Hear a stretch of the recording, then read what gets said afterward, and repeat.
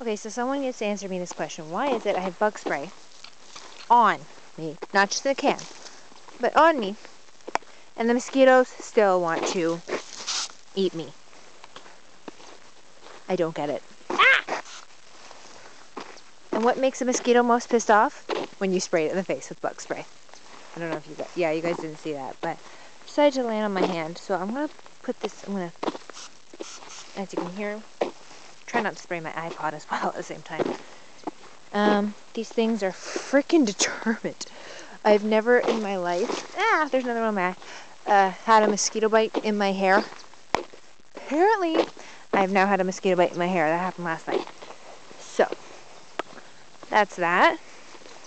So I'm going to post these all to YouTube, all like six of these. Or whatever, however many there end up being. So you guys can all enjoy my little narratives. Here we go.